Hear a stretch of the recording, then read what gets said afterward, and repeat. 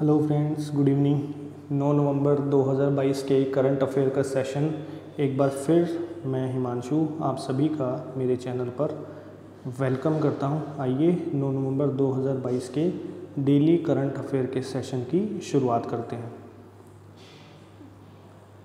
पहला क्वेश्चन देखिए, किसे फ्रांस द्वारा शेविलियर पुरस्कार से सम्मानित किया गया है? तो ये हैं अरुणा साईराम, कर्नाटक की प्रसिद्ध गायक, संगीतकार, मानवतावादी और वक्ता अरुणा साईराम को फ्रांस सरकार के सर्वोच्च सम्मान शेविलियर पुरस्कार से सम्मानित किया गया है।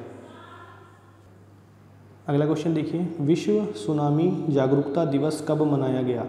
तो हर साल 5 नवंबर को दुनिया भर में विश्व सुनामी जागरूकता दिवस मनाया जाता है। इस दिवस को मनाने का प्रमुख उद्देश्य भविष्य में आने वाली आपदाओं को लेकर लोगों को तैयार रहने के प्रति सचेत किया जाता है। याद रखिएगा कि पहला विश्व जागरूकता, सुनामी जागरूकता दिवस 5 नवंबर 2016 को पूरे विश्व भर में मनाया गया था। अगला क्वेश्चन देखिए थर्ड क्वेश्चन किस राज्य में लखपति दीदी मेले का शुभारंभ किया गया है? तो ये राज्य है उत्तराखंड। मुख्यमंत्री पुष्कर सिंह धामी ने कहा कि इस योजना के तहत वर्ष 2025 तक एक पॉइंट पच्चीस, लगभग सवा लाख महिलाओं को लखपति बनाने का लक्ष्य है। इसके लिए उन्हें रन तकनीकी मार्गदर्शन, प्रशिक्षण, उत्पादों के विपणन की सुविधा उपलब्ध कराई जाएगी। अगला क्वेश्चन देखिए, किस कर्नाटक, किस सॉरी किस फिनटेक कंपनी ने छोटे कारोबारियों के लिए डिजिटल चालू खाता लॉन्च किया? तो ये है चेकबुक चेकबुक छोटे व्यवसाय के मालिक जैसे किराना कॉस्मेटिक उपभोक्ताओं का तुरंत खाता खोलने के लिए यह पहल लेकर आया है। कंपनी के अनुसार भारत में करीब 63 मिलियन से अधिक लोग छोटे व्यवसायों के लिए काम कर रहे हैं, जिनके लिए चेकबुक ने यह अनोखी सुविधा जारी की। अगला क्वेश्चन देखिए। विश्व की सबसे सस्ती विनिर्माण लागत वाले देशों की सूची में भारत किस स्थान पर रहा? तो आपको बता दें कि भारत का जो स्थान है, वो पहला रहा विश्व की सबसे सस्ती विनिर्माण लागत वाले देशों की सूची में भारत शीर्ष स्थान पर रहा। भारत ने विनिर्माण लागत वाले देशों की सूची में चीन और वियतनाम को पीछे छोड़ा है। रिपोर्ट के अनुसार 100 के पैमाने पर भारत ने सस्ते विनिर्माण लागत के मामले में शत प्रतिशत स्कोर किया है। अगला क्वेश्चन देखिए, किसके उपन्यासकार को एंजूथाचल पुरस्कार से सम्मानित किया गया है? तो किसके उपन्यासकार को किया गया है सम्मानित? तो ये हैं प्रसिद्ध मलयालम कथा लेखक ए सेतु माधवन।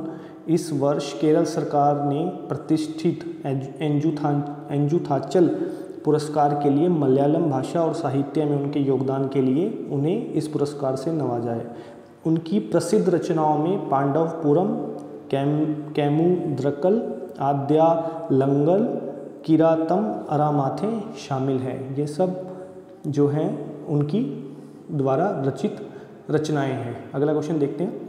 अडानी न्यू इंडस्ट्रीज़ ने किस राज्य में भारत का सबसे बड़ा पवन टर्बाइन स्थापित किया? तो ये अडानी न्यू इंडस्ट्रीज़ ने गुजरात राज्य में भारत का सबसे बड़ा पवन टर्बाइन स्थापित किया है। यह पवन टर्बाइन गुजरात की स्टैचू ऑफ़ यूनिटी से भी ऊँचा बनाया गया है।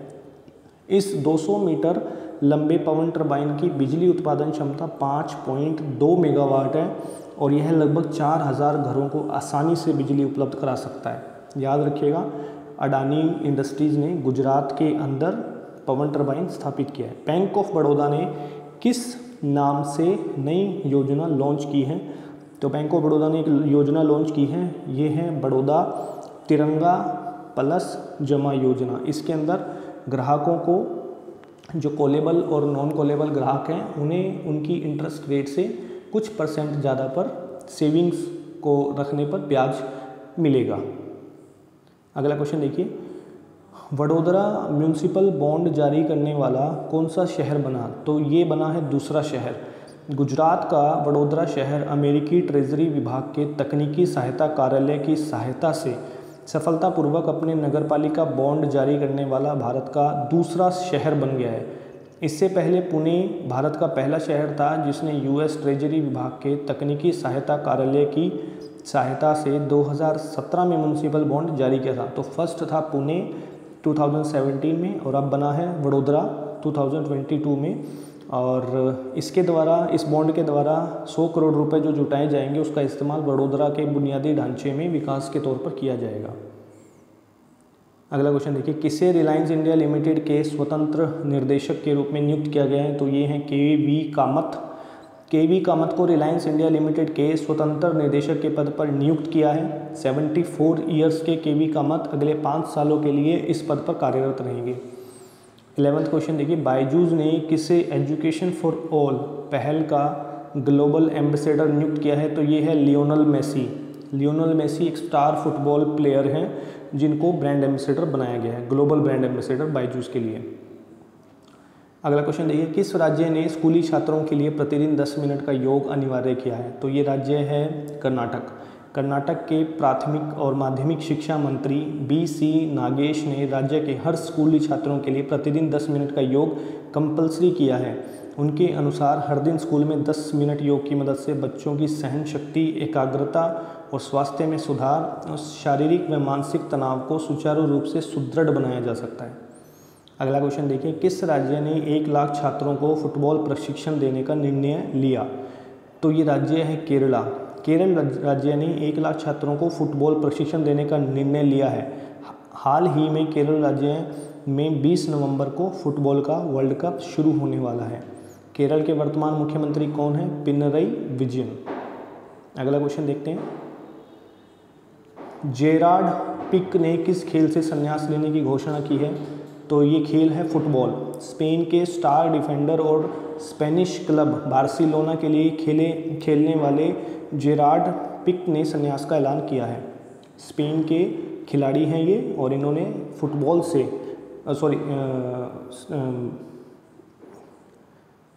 फुटबॉल से फुटबॉल से ही इन्होंने अपना संन्यास लेने की घोषणा की। ओके? अगला क्वेश्चन देखिए, किस कंपनी ने चौबीसवां विश्व संचार पुरस्कार क्लाउड नेटिव अवार्ड जीता? तो ये कंपनी है जियो।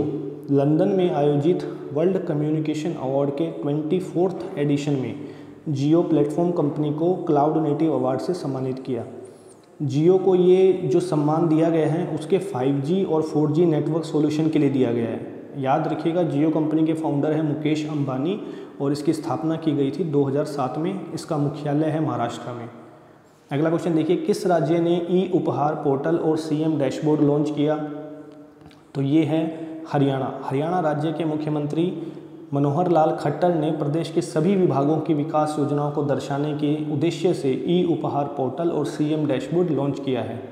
अगला क्वेश्चन देखिए, नीवा बुपा ने बैंक इंश्योरेंस के लिए किस बैंक के साथ समझौता किया? तो ये बैंक है IDFC first bank. Next question देखिए, चौदहवीं विधानसभा के लिए भारत के प्रथम मतदाता कौन है जिन्होंने मतदान किया? तो ये हैं श्याम शरण श्याम शरण नेगी जी। चौदहवीं विधानसभा के लिए भारत के प्रथम मतदाता श्याम शरण नेगी ने मतदान किया। श्याम शरण नेगी ने बैलेट पेपर की मदद से अपना वोट दिया। उन्होंने बुधवार को चौंतीसवीं बार अपना मतदान दिया। आज़ाद भारत के पहले चुनाव के समय में किन्नौर के मुरंग स्कूल में बतौर अध्यापक ये कार्यरत थे। अगला क्वेश्चन देखिए, कौन सा केंद्रीय मंत्रालय पोषक तत्व आधारित सब्सिडी योजना से जुड़ा है? एनबीएस तो ये मंत्रालय है ministry of chemical and fertilizers सरकार ने 2022-23 की दूसरी छः माही के लिए phosphatic and potash P and K उर्वरकों के लिए इक्यावन करोड़ रुपए की सब्सिडी को मंजूरी दी है। यह योजना रसायन और उर्वरक मंत्रालय द्वारा कार्यान्वित की जाती है। अगला क्वेश्चन देखिए। इस सेशन का आखिरी क्वेश्चन है। तीन वर्षों में चीन का दौरा करने वाले जी सेवन नेता कौन बने? तो ये हैं Olaf Scholz. German chancellor Olaf Scholz चीन की यात्रा पर हैं। वह लगभग तीन वर्षों में group of seven G seven में चीन से उतरने वाले पहले नेता बन गए हैं। आपका, आपको आज का वीडियो कैसा लगा? प्लीज़ कमेंट सेक्शन में कमेंट करके बताइए। इस वीडियो को लाइक करें शेयर करें और चैनल को सब्सक्राइब करना बिल्कुल ना भूलें। कल फिर एक बार आपसे मुलाकात होगी। तब तक के लिए good night thank you thank you very much thank you guys thank you very much